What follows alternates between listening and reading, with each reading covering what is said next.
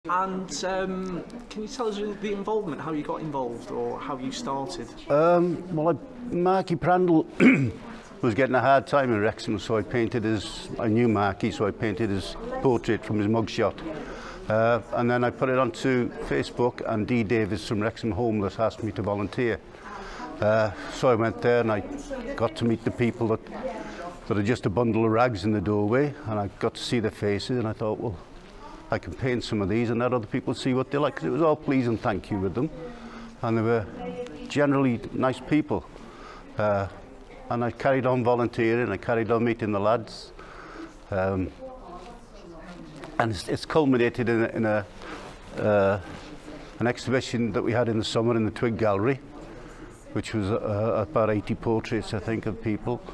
and this one that we're having today which is highlighting their voices which is what they want to say It's what they sat down and we did four workshops with them, asked them questions, uh, and some of the answers that we got back were very poignant, um, to say the least.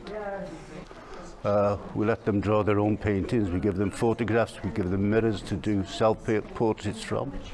We sat and we asked them questions, uh, what matters to you, what would you like to see, what do you think you're good at? Uh, and it was surprising some of the answers that we got back and were very good and some of the people wouldn't stop talking that no, know they were very animated so we thought we'd struck a vein there and this is the result of it really uh, we asked them to write down what they thought on pieces of cardboard because we thought that would be realistic because a lot of them do sleep on the cardboard They just come in for something to eat, for a warm, and to, to go back out there again.